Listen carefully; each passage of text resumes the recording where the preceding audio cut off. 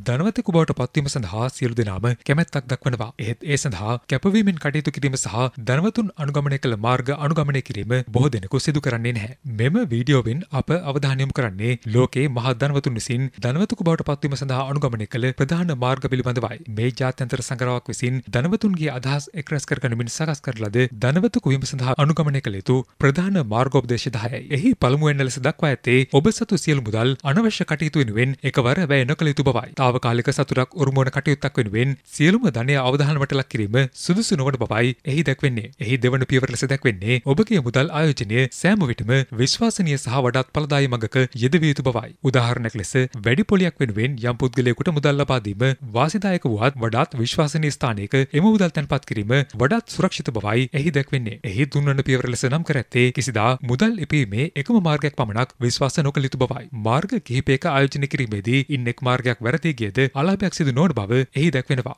ධනවතුන් විසින් අනුගමනය කරනු ලබන හතරවන න්‍යාය ලෙස සැලකෙන්නේ සෑම විටම මුදල් වලින් ගනුදෙනු කිරීමට උත්සාහ කිරීමයි. ණය කාඩ්පත් හා වෙනත් කාඩ්පත් Tamanට නොදැනීම මුදල් වියදම් වැඩි කරන බැවින් මුදල් ගනුදෙනු සිදු කිරීම වඩාත් යහපත් බවද ඔවුන් පෙන්වා දී තිබෙනවා. එහි පස්වන පියවර වන්නේ විවිධ දේ තනිවම ඉගෙනීමට තැත් කළ යුතු බවයි. ලෝකයේ ධනවත් වූ බොහෝ පුද්ගලයන් තනිව ඉගෙනීමට තැත් කළ බවද එහි දැක්වෙනවා. එහි හයවන පියවර වන්නේ ඔබගේ අනාගත ඉලක්ක ජයගෙන ඇති ආකාරය සිතින් දැකීම. Taman ධනවතෙකු ලෙස Taman විශ්වාස නොකරන්නේ නම් එය කිසි දිනක ඉටු කරගත නොහැකි බවද එහි දැක්වෙනවා. හත්වන පියවර වන්නේ පියවරෙන් පියවරට ඉලක්ක සකසාගත යුතු බවයි. Tamanගේ මුදල් ඉතිරි කිරීම ඉලක්කයක් පවතින්නේ නම් එම ඉලක්කය ජය ගැනීමෙන් පසු තවත් ඉලක්කයක් සකසා ගැනීම ඊට උදාහරණයක් ලෙස ඔවුන් ප්‍රකාශ කර තිබෙනවා. අටවන පියවර වන්නේ ඍණාත්මක ආකල්ප ඇති පුද්ගලයන්ගෙන් දුරස් වීමයි. සාර්ථක වීමට නම් සාර්ථක පුද්ගලයන් ආශ්‍රය කළ යුතු බවද එහි දැක්වෙනවා. දිනපතා විනාඩි 5ත් 10ත් අතර කාලයක් Taman ධනවතෙකු ලෙස සලකා හැසිරිය යුතු බවද එහි නවවන පියවර දැක්වෙනවා. දසවන පියවර වන්නේ වයස Tamanට බාධාවක් කර නොගැනීමයි. බාධාවන්ට Tamanට බාධා කිරීමට ඉඩ ලබා නොදී විශ්වාස කරමින් ඉලක්ක කරා යා යුතු බවද එහි දැක්වෙනවා.